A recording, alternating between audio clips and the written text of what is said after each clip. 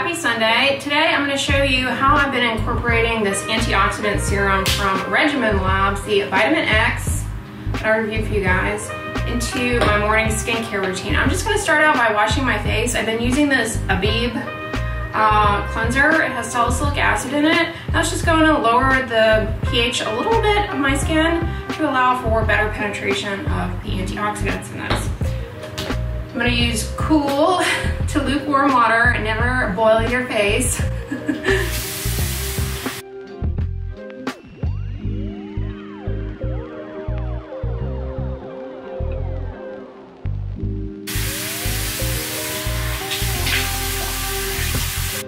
Comment below, are you a once a day face washer or a twice a day face washer? Typically I only wash my face at nighttime as you guys know, but lately I've been doing an AM cleanse it kind of helps this go in a little better. Plus it's so hot, honestly it feels good to wash my face with cold water in the morning. And my skin is still damp. Um, I just take this um, microfiber towel that I got for my hair actually, but I end up using it to just kind of pat any drips off, but I want my skin still damp. I don't, you know, towel dry my entire face. Then I just take this, put one pump here, and that's really just so that my face isn't dripping all over the place. And that's pretty much enough to spread to the majority of at least my mid and lower face. And whatever's left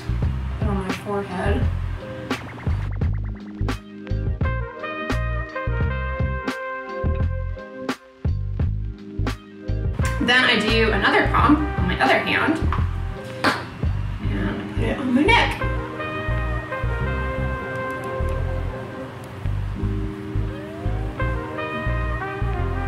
Then I rub my hands together, get it on my forearms, all of those places. I'm just gonna reposition you guys. So I'm just gonna let it absorb. I get questions all the time. Should we pat our skincare products in or rub them? You should rub them in because the skin is not a flat sheet. If you just pat, you're not gonna get all the crevices and grooves covered. It's kind of like, um, think of your skin as like a textured wall and if you just, you know, pat paint on it, you're gonna miss a lot. There are lots of convexities and concavities, you wanna rub these in in a gentle circular fashion. Not too hard, but you know, just gentle circular fashion. All right, this product takes a little bit of time to absorb, but it's pretty much absorbed. This is not the best lighting, but hey, it's, it's real life. All right, so you really don't need a lot. Just those two pumps is enough to get your entire face and the neck. Now I'm just gonna come in with my sunscreen. This is the most important part. Uh, and you wanna put the sunscreen on once everything has dried. I'm gonna wear uh, the same sunscreen I wore yesterday. It's the Colorescience Sun Forgettable Total Face Shield, the matte. I've really been enjoying this. and I think it's back in stock actually. Oil absorbing properties, so if you are really shiny, I think you would like it. This is what the shade looks like, kind of a medium shade. It's not as it's not as light peachy as their original formula.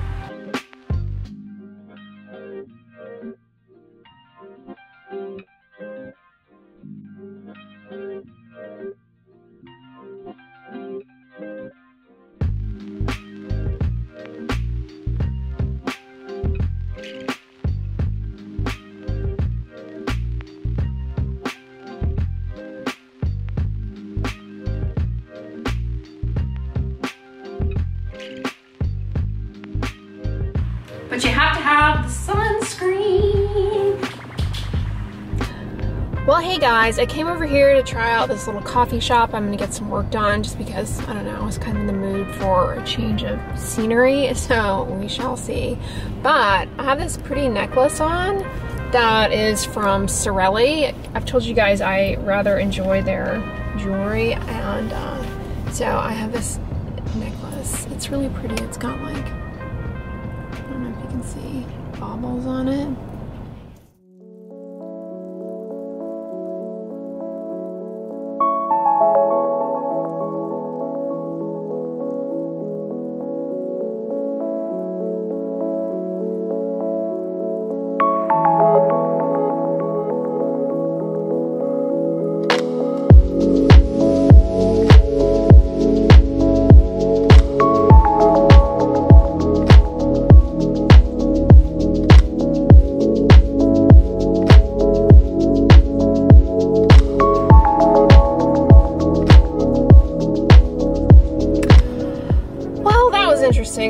An Americano. Mm, I don't know. I'm not so into the modern takes of coffee. Sometimes I just find that I don't like, I don't know. I like my coffee a particular way. And I find when I get it out and about, it's just not quite slap your mom in the jaw good. Are we condoning? So, local flavor update. I don't know, what am I, tour guide? Do you guys remember, comment below, if you remember when I used to go to Pier 1 all the time. In fact, I have a mug from there. Um, when I lived in the other apartment. Well, I'm over by that area and the Pier 1, apparently Pier 1 went out of business. I don't know. Is that, is that a that a worldwide phenomenon or is it just the one by that I used to go to when out of business? Regardless, it is out of business no more. And what went in its place is this like kind of odd thing. It sounds good in principle, but if I'm just going to give you the the 411 on it. It's this Houston Monopoly adventure type thing Yes, they do have giant dice. And if you love Monopoly and you love Houston, guess what? Two great tastes that taste great together. Sherry's with us here. Look at this, guys. We're going to start right at go. So, folks, yes. this is going to be their first chance grand opening today. Today. The idea is that it's like a, um, you know, a life-size Monopoly that you go in and it's supposed to be interactive. I mean, that's how they lure you in. And I haven't done it yet, but this is what I've heard they charge you $30 to go in there. And you're going in there thinking that you're going to get something kind of like I would imagine an escape room is, something like that. Apparently it's $30, but once you get in there, all it is is pictures of different areas in Houston all around the walls. Sounds like the most epic ripoff ever. I don't know how long that's going to last. But comment below on if you have done the, because I know a lot of you guys are local uh, comment below on if you have done the Houston Monopoly game. But it sounds like a scam. I kind of miss that Pier 1. Even though Pier 1 was always overpriced.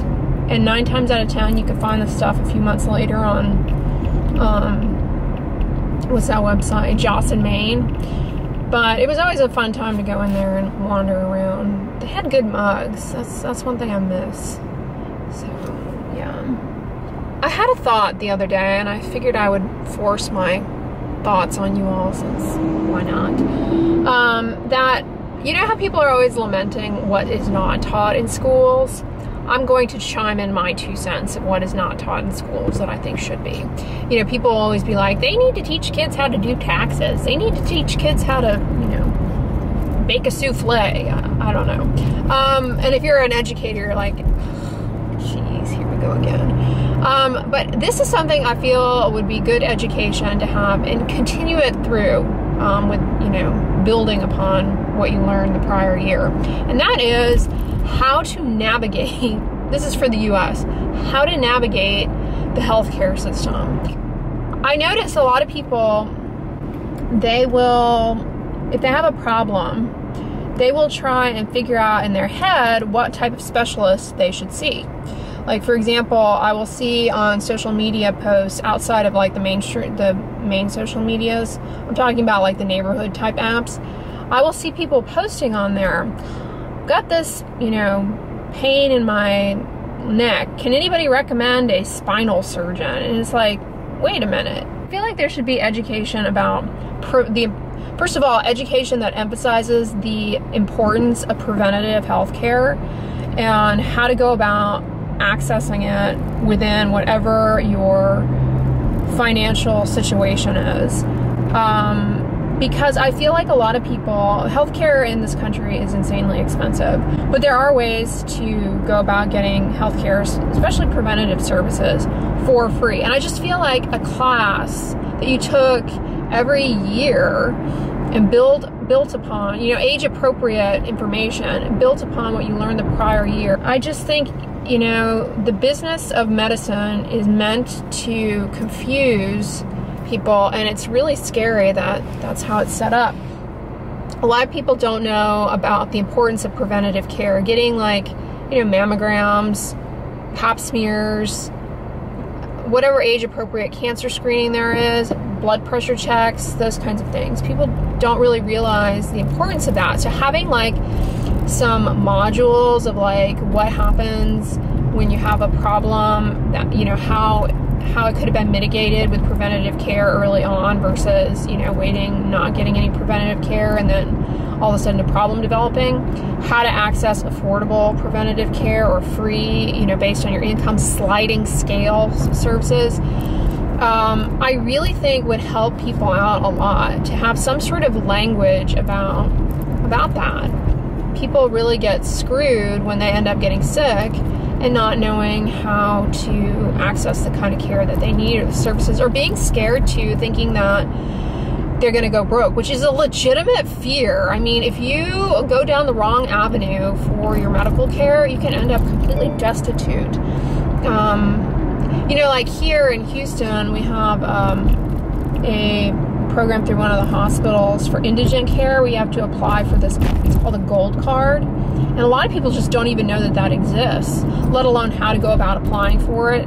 And then, then, so they don't know about it. They're, you know, worried. They think that they can't afford health insurance or whatever.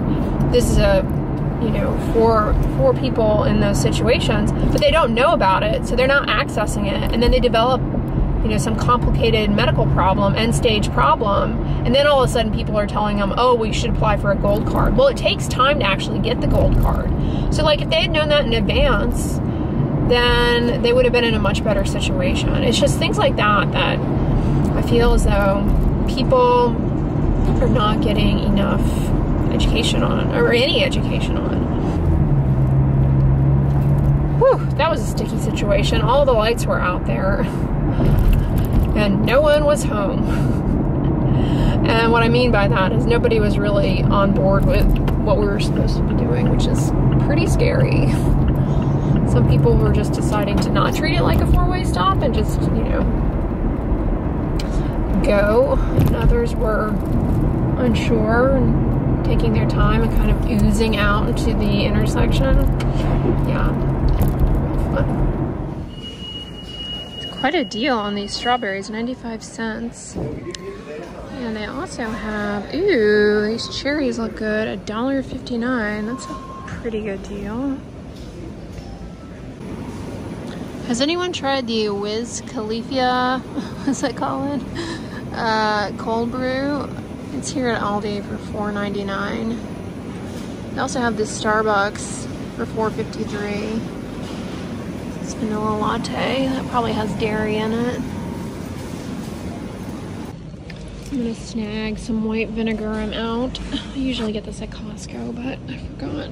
I use it to clean my produce.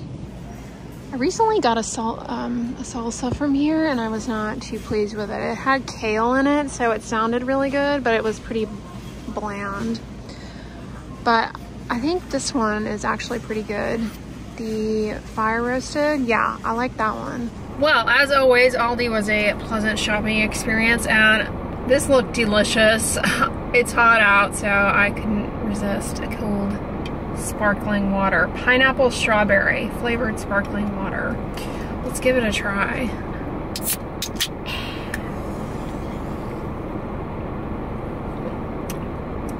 Mmm, that is nice. Oh, I like that. I don't always like the sparkling, the flavored sparkling waters or sparkling water, but the heat is on. Right, so I'm back and I've been back for a while. I got this Kiwi gadget. I don't know if you can see it. At Aldi. I'm gonna give it a try because it has kiwis here. And I typically just eat them and I eat the skin You can do that if you didn't know. But sometimes it makes my feet, my feet, my teeth feel kind of furry. I don't know. Does anyone else experience that? Impulsively. I thought we could give it a try together.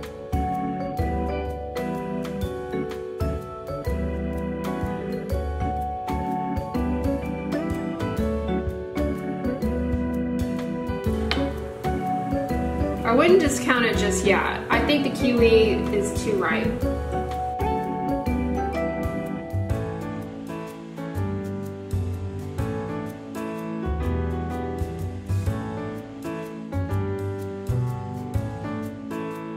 Yeah, oh yeah, it works well.